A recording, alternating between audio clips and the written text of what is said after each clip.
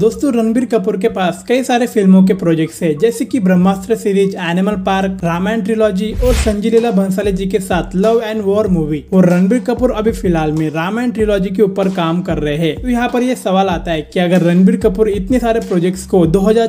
और पच्चीस में शूट करने वाले है तो ब्रह्मास्त्र टू और थ्री जो की दो और सत्ताईस में आने वाली है क्या वो सच में अपने सिलेक्टेड रिलीज डेट पर आ पाएगी या फिर पोस्टपोन हो जाएगी इसके बारे में आज हम जानेंगे हेलो दोस्तों सिने टॉक के एपिसोड नंबर वन में आपका स्वागत है तो आइए शुरू करते हैं दोस्तों ब्रह्मास्त्र पार्ट वन शिवा के रिलीज होने के एक साल बाद सितंबर 2023 में आयन मुखर्जी ने ब्रह्मास्त्र टू और थ्री को कंफर्म किया और एक कंसेप्ट आर्ट के जरिए दोनों फिल्मों को अनाउंस किया क्योंकि ऐसे भी रूमर्स आ रहे थे की ब्रह्मास्त्र वन के बॉक्स ऑफिस पे एवरेज साबित होने के बाद ब्रह्मास्त्र ट्रिलॉजी को आगे नहीं बढ़ाया जाएगा पर दोस्तों आयन मुखर्जी ने ठान लिया था की भाई पिक्चर तो बनेंगी और पार्ट टू देव को 2026 में रिलीज करने का फैसला किया और पार्ट थ्री को 2023 में और ऐसा भी कहा जा रहा था कि पार्ट टू और थ्री को एक साथ ही शूट किया जाएगा पर दोस्तों अभी के हालातों को देखे ऐसा लगता है कि ब्रह्मास्त्र टू शायद 2026 में रिलीज नहीं हो पाएगी क्योंकि देखो रणबीर कपूर अभी फिलहाल में रामायण ट्रिलॉजी के ऊपर काम कर रहे हैं और दो अप्रैल से इसकी शूटिंग भी शुरू हो चुकी है और रामायण इतनी बड़ी फिल्म है तो कम से कम चार से पाँच महीने तो इसकी शूटिंग चलेगी मतलब सेप्टेम्बर दो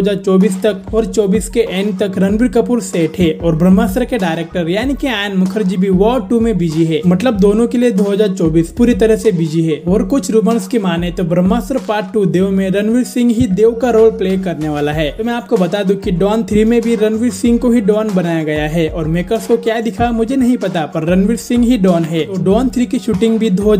में ही शुरू होने वाली है और उसी टाइम ब्रह्मास्त्र के मेकर्स ने भी शूटिंग करने का प्लान किया है तो हो सकता है की 2025 में भी ब्रह्मास्त्र टू की शूटिंग शूटिंग में थोड़े प्रॉब्लम्स आ सकते हैं और जब आयन मुखर्जी ने ब्रह्मास्त्र टू और थ्री को अनाउंस किया था तब रणवीर कपूर के पास एनिमल पार्क रामायण और लव एंड वॉर मूवी नहीं थी और न आयन मुखर्जी के पास वॉर टू थी मतलब तभी आयन मुखर्जी ने सिर्फ अपने ब्रह्मास्त्र के बारे में सोचा और अनाउंस कर दिया पर दोस्त ये तो मेरा ओपिनियन था आपको क्या लगता है क्या ब्रह्मास्त्र टू डिले होगी या फिर दो